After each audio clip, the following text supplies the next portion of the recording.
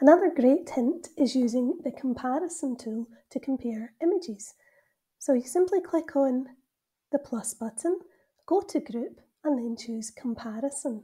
And that allows you to add two images side by side so that you can ask children to feedback.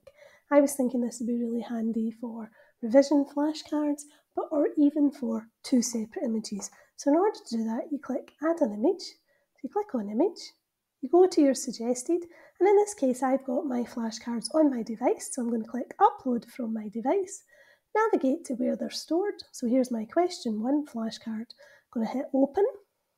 Then I'm going to hit add image again, click on image. Again, I'm going to go to my device and I'm going to do answer one flashcard. And I'm going to add that in there. So we're just clicking on image and my device, flashcard, open, and that's in there for me now.